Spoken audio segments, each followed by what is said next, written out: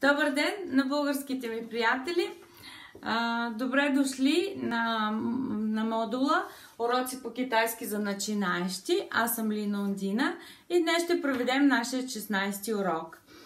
Благодаря на всички, които ме гледат и не забравяйте да се запишете на канала, за да можете да получавате автоматично новини, когато направя ново видео. Вие гледайте само това, което ви интересува. А, и а, кажете на всички ваши познати и приятели, които биха могли също да се заинтересуват от а, уроци по китайски, а, да се запишат.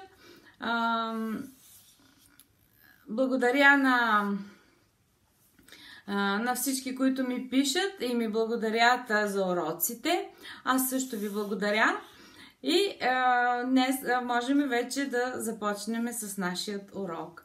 Значи, а, първата а, урокът ни ще се състои от две точки. Едната е с ричките, които нямат начална буква и архуа. И четене на упражнение 3. Значи, а, нека да видим кои са всичките без начална буква, т.е. без съгласна. За начална буква не са само тези, има много, но аз ви давам само някои примери. А, значи, без начална буква, за начална буква се брои съгласна. Съгласната. Ако нямаме съгласна, значи, че а, тази дума няма начална или е с начална нулева. А, когато описваме една стричка, ние казваме началната, коя е, финалната, коя е и етонът. Това са трите характеристики на китайската а, а, сричка. Значи, ако кажем R, първото, което означава две, ако си спомняте, а, можем да кажем, че началната е нулева, крайната е R и имаме а, четвърти четвърто ударение. И така нататък. Същата тази начална нулева, R, R е финалната и второ ударение. Тук трето и тук пак второ. Значи във вашият материал който поставям винаги в коментарите. Можете да си го смъкнете и да видите, аз съм написала много повече неща, отколкото съм записала на дъската. Така че ще ви ги прочета, така ще мога и да, да контролирам дали не съм направила някаква, някаква грешка, за да мога евентуално да я коригирам. Значи, казахме, че R означава две. Това R означава син, син на баща си, не е цвят. R означава ухо. И това R също втори тон, както този, виждате, те са еднакви. А, значи това означава освен това при това. С това се използва като съюз, свързваща частица за, да кажем, изречения, които са по-дълги. Значи казахме, че всички тези срички са с нулеви начални. Значи, това беше да кажем сричките без начална буква. Сега нека видим архуа и думите, които ние вече сме упражнявали, но ще ги повторим. Значи това се чете хуар, хуар, което означава цвете. Без ер е хуа прима, първи тон. И а, втори, вторият пример е мър, мър, това Н тук не се произнася и Р става носово. А, ако го нямаше това R, тази част, само тази първият, първият иероглиф се чете мен, втори тон. Но след като имаме а, с архуа, става мър. Тази R става носова и това N почти не се произнася. Мър, мър. Окей. Значи това означава врата, портал. А, е, това е. Следващият пример е Тор. Тор, което означава началник, шеф, ръководител. И а, последната, да кажем, а, последният пример е Годжър. Годжър, което означава плодов сок. А, както знаете, и без тези R на, на края, а, думите могат да се произнасят и също имат същото значение. Но когато, да кажем, вие знаете, че съществува това явление, а, и можете да го чуете, а, да кажем, произнасяно от а, а, някои китайци, които живеят, да кажем, в Пекин или пък са учили а, а, стандартен китайски език. Значи това беше по нашата първа точка. Втората точка е четене упражнения 3 на страница 9 и 10. А, първо ще ви ги прочита думите с, с превода, който вие също имате в материала. И после ще ги прочетем още веднъж, а, да кажем, за да ги повторим. А, така че вие можете да следите първият път и вторият път, когато чита, пробвайте да произнасяте с мен. Значи, първата дума е кафе, кафе. Тук имаме две първи ударения, което означава кафе. М- кафе. А, вторият е цъден, цъден, което означава речник. Да, шуе. Да, шуе. Университет. Зидан. Зидан. Означава яйце от кокошка, защото те е, имат и други яйца. Имат пидан и така нататък. Има и едно, да кажем, израз, когато не вземеш изпита, се казва ядан. И този тип яйца. По-нататък ще се запознаем. После, пичоу, пичоу, това означава бира. Следващата дума е сянцяо, сянцяо, което означава банан. Шутан, шутан, означава стол за хранене, менса. После следва шуейго, означава плод. Си дзао означава къпя се, правя си баня. Диенхуа. Диенхуа означава телефон, но означава и обаждане по телефона. Шандиен. Шандиен означава магазин. Тенчи.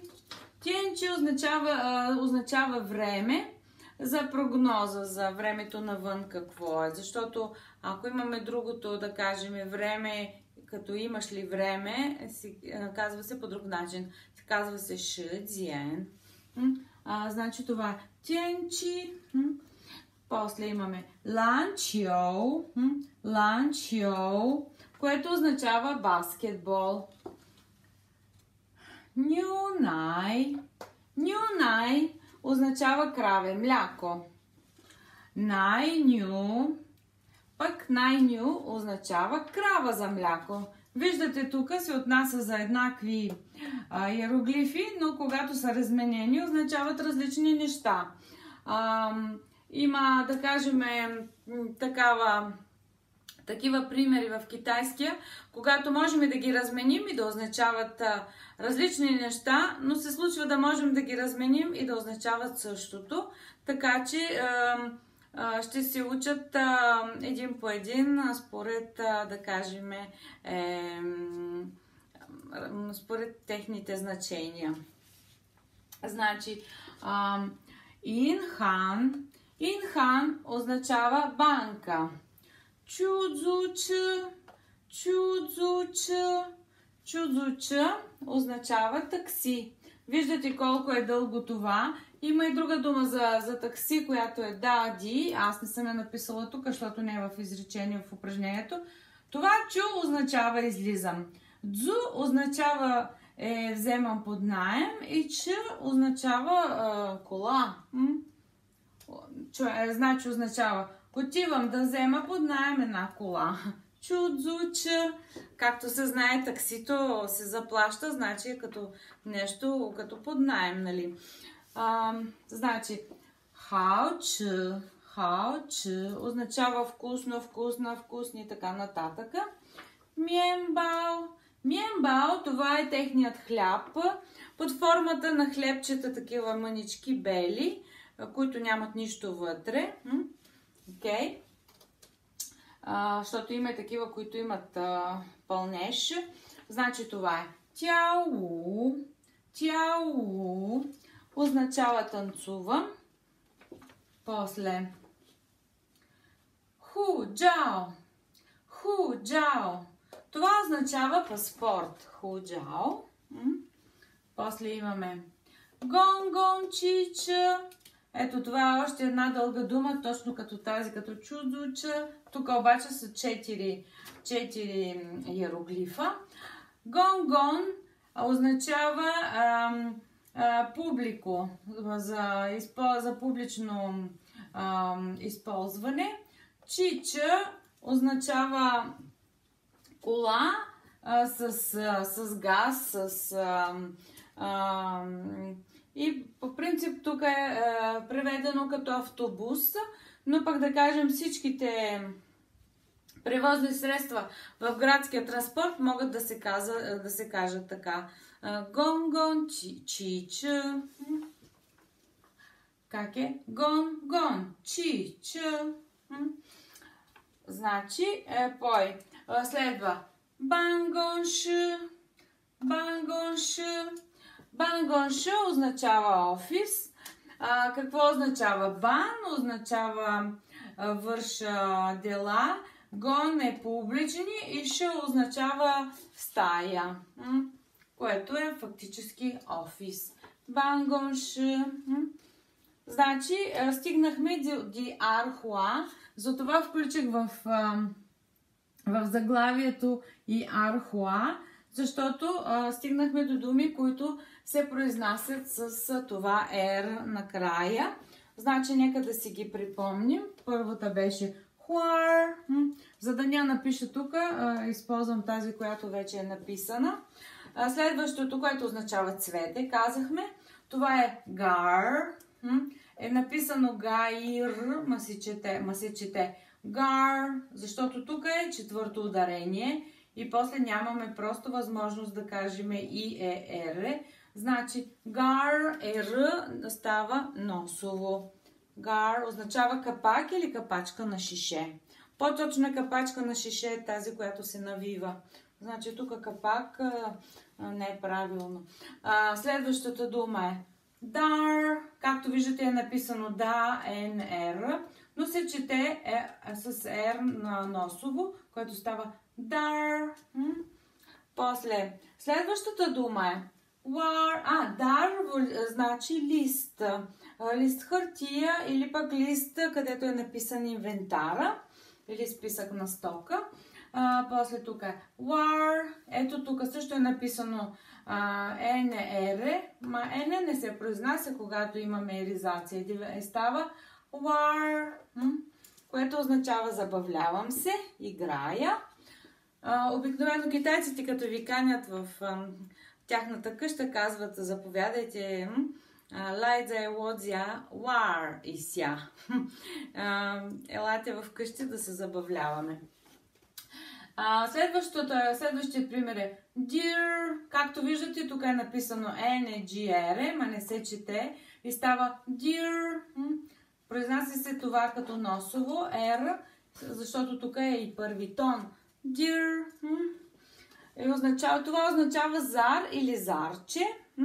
И последната дума за днес е сяо хар. Същата, същото нещо. Тук има изписано и е р, ма р става носова е сяо хар. И не се произнася. Ако нямаме еризация на тази дума накрая, ще се произнесе сяо хай без р. И тогава се произнася. Когато нямаме тук саребе дин, energy. Това е one. Това е guy. И това е done.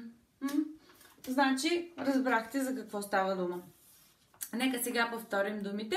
Пробвайте с мен. Ще ги четем всяка една-два пъти. Ако не успеете, успеете първи път, кажете вторият. Значи, започваме. Кафе, 咖啡词典词典，大学大学，鸡蛋鸡蛋。